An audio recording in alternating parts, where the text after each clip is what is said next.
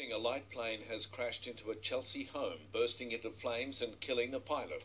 Firefighters have praised him for guiding the aircraft away from a nearby shopping strip. Laura Spurway begins our coverage. An afternoon flight turned to tragedy.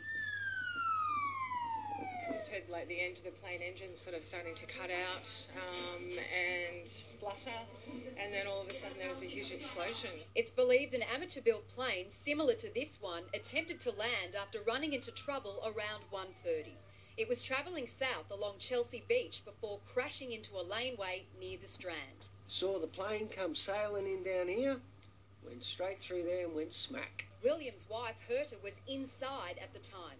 She was watching TV on the couch when the plane struck the side of her home. She just was sitting in the kitchen table watching the television, and suddenly, bang, you know, she fell off the chair and the windows came in. Herta was treated for shock, but luckily avoided any serious injuries. I'm lucky too. I still got a wife.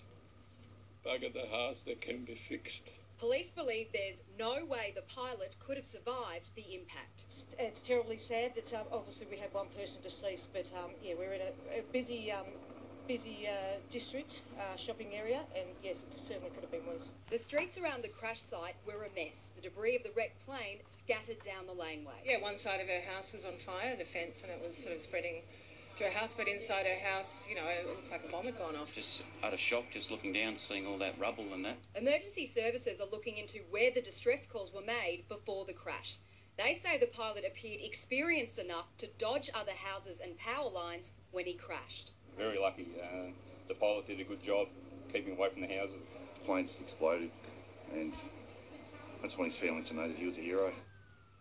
Let's go live to Laura at the scene. Laura, when will residents be able to return to their homes?